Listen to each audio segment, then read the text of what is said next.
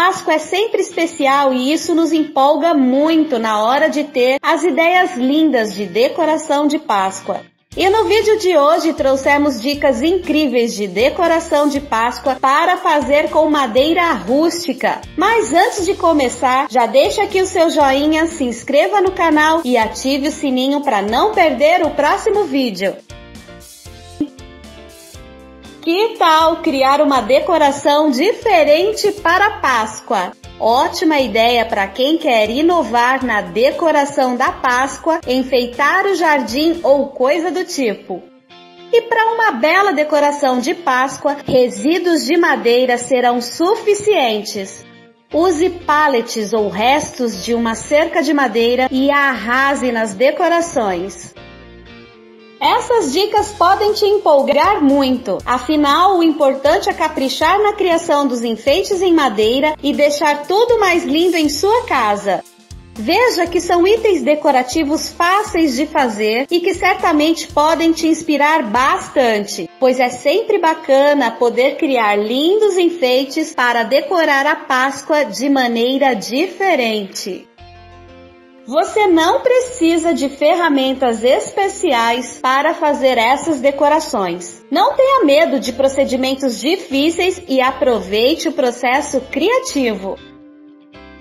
Olha como estes arranjos estão lindos e podem ser perfeitos para fazer na Páscoa. São projetos simples e que podem deixar qualquer cantinho mais lindo nessa época especial. A madeira é um material rústico e que por isso pode combinar bem com esse tipo de decoração. Veja esses coelhos de madeira e inspire-se para fazer algo semelhante aí na sua casa.